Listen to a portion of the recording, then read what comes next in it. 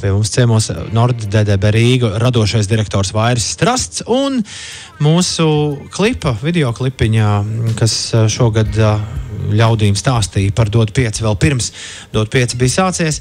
Klipa režisora Kristīna Vītola Vaira un Kristīna, prieks jūs redzēt. Prieks jūs redzēt. Prieks. Prieks būt šeit.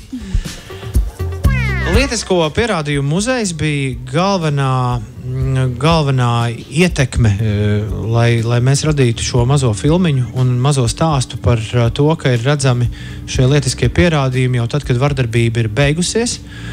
Un, uh, vēlāk, tikai vēlāk, kad mēs jau bijām pieņēmuši virzienu, kurā mēs dosimies kopīgi, lai izstāstītu, dot pieci stāstu. Tikai vēlāk es iepazinos ar pašu. Mēs iepazināmies Lietiskā muzeja, Lietisko pierādījumu muzeja autoriem. Un, uh, ceru, ka pamanījāt, Lietisko pierādījumu muzejs darbojās arī šeit vesels trīs vakarus ar, ar, ar, ar performancēm.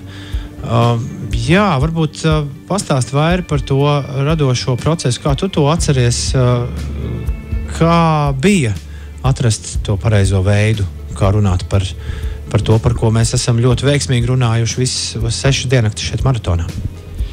Tas process uh, galīgi nebija viegls. Un, uh, vairākas reizes liekas, mēs uh, taustījāmies, un mums bija sajūta, ka mēs esam ļoti tuvu, bet vēl ne gluži. Un, uh, man šķiet, ka saruna tieši ar Lauru un Jānu bija tā, kas mums daudz ko iekšēji pašiem savā domāšanas procesā salika pa plauktiņiem. Un uh, tiešām noved pie tā rezultāta, palīdzēja. Nu, tā bija tā kā tāds kompass. Uh, bet uh, no otras puses, tagad nākot šurp mēģināju pārcelēt galvā, kas notika un ko mēs vēl darījām. Un kaut kā liekas, ka tas vairs ir tik nebūtiski un, uh, un nesvarīgi. Tas kaut kā ir tā nolicies malā. Un tas, pie kā mēs nonācām, liekas tik uh, trāpīgi un vietā, uh, ka tas ir nu, vienīgais, kas šajā brīdī nu, pa īstam kam, kam ir nozīme. Kristīna, kā tev? Uh, jā, mm, strādājot uh, ar šo tēmu, vispār ir tik daudz par ko runāt un uh, tik daudz dažādu aspektu virzienu, kas, kas, kas, uh, kas ir neparedzami un ļoti grūti noformulēt to, kas notiek, un šo tabū tēmu kaut kā um, apskatīt tādā īsā formātā un uzrunāt. Uh, gan cilvēkus, kas ziedo, gan cilvēkus, kas uh, cieš no vardarbības, kas arī cilvēkus, kas dara vardarbību. Uh, jā. Tas bija tas izaicinājums. Un, uh, jā. Uh, arī visi tie, kas šobrīd mūs redz un skatās video tiešraidi, labdarības maratonam dod pieci redz uh, zīmējumu, kur uh, maza meitenīte ir uzzīmējusi savu māmu, kurai ir uh, uzsista zila acis. Uh, par šo šis zīmējums ir. Uh, ja ne svarīgāks par, par pašu klipu, mūsu veidus cauri arī dzen, visam dot pieci maratonam. Kas to uzzīmē? Vai tas ir īsts bērnu zīmējums, vai, vai tomēr bišķiņā, bišķiņā esam šoreiz pas, pašmaukušies? Nu, jāatzīst, ka pašmaukušies, bet uh, uzzīmēju es. bet, uh, uh, man šķiet, gan klipā, gan, uh, gan uh, plakātā ir svarīgi parādīt to, ka bērns ir tas, kas redz uh, vardarbību vai arī cieš no vardarbības, jo tas ir tāds uh, aburtais lokus uh, lielākā mērogā un uh, šķērsgriezuma paudžu šķērsgriezumā, kas arī ir jāizbeidz, jo uh, bērns izaug un viņš pēc tam atkārto arī to pašu, ko viņš ir redzējis. Vai nu viņš ir upuris vai nu varmāka. Un man šķiet, ka caur bērnu prizmu mm, skatīties uz to, tas ir vēl vairāk kaut kā nezinu, svarīgi. Es neesmu redzējis vairs tevi tik uh, izsamisušu kā vienā brīdī mūsu radošajās, šajā, radošajās pārunās, bet redz, viss tomēr ir beidzies labi. Un, un, un kārtējo reizi man jāsaka jums milzīgi, milzīgi paldies.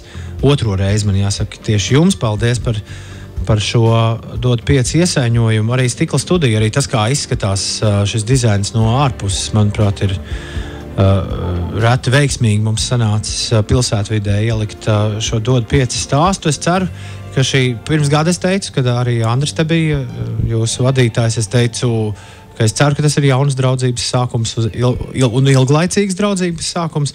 Šogad mums tas bija apstiprinājums, nu tad uh, turpinām. Pilnīgi noteikti. Es gribētu par to iz, izmisumu. Uh, tas, ir, uh, tas ir tāds skaists izmisums, viņš ir tāds produktīvs izmisums. Tas ir tas, kas ir vajadzīgs. Ja? Tas kaut kāds tas tie pacēlumi, sakāpinājumi un izmisumi nu, šajā procesā viņi mījās. Un, ja, ja viņi ir intensīvi, tad īstenībā tā ir pazīme, ka tu nu, esi ceļā uz kaut ko trāpīgu un īstu. Un, un tas nav nekas tāds, ko es eh, gribētu, lai nenotiek nākošais gads. Es gribu, lai tas notiek. Nē, nē, viss kārtībā. Tas, tas, tas, tas ir svarīgi. Un tas no manas puses nevienā mirklī nebija pārmetums, mm. bet drīzāk kā tāda kurioza, kurioza lieta, ko es pēkšņi atcerējos. No, Katrā no, ziņā. No. Jā, tas eh, man liekas, ka šajā projektā Eh, tā partnerības sajūta ir ļoti patiesa un, un no visām pusēm. Ka ne tikai mēs un jūs, bet arī Baltika un visi cilvēki, kas tajā sapulcēs bija uh, un par to runāja un domāja. Tas ir tas gadījums, ka nevis mēs apstrīdam vai pretojamies vai mēģinām atrast kaut kādu kompromisu. Mēs tiešām meklējam visu laiku to labāko veidu, kā, kā, to, par, to, kā par to runāt. Un, un tā sajūta ir tiešām gan iedvesmojoša, gan, gan viņa palīdz ja, līdz tam mērķim nonākt. Mm -hmm. Vai arī jūsu oficiālā bija kaut kur nolikta uh, maza burciņa vai cūciņa, kur cilvēki varēja mest kādu naudu iekšā? Nu, šobrīd mēs oficiāli esam ļoti mazi. Pareizi, pareizi. bet es, es to jau laikam aizmirstu. bet, bet mēs, es domāju, ka mēs individuāli, privāti katrs esam uh, to darījuši. Super. Savā veidā. Jau spēlē arī tad, uh, jūsu dziesmu, kur jūs atstājat šeit 2020. gada. Uh, uh, jā, maratonā dod pieci par apburto loku būs dziesma, vai ne? Tieši tā. Un, uh, es gribu pateikt, paldies, dod pieci, ka jūs esat. paldies, ka jūs esat! Uh, NordDB Rīga, mūsu reklāmas kampaņas partneris šeit, Stikla studijā. Lielas paldies radošajam direktoram Vairim Strasdam un mūsu klipa režisorei un arī meitenītes zīmējuma autorei Kristīnai Vītolai. Lai jums priecīgs Ziemassvētku un laimīgs jaunais gads!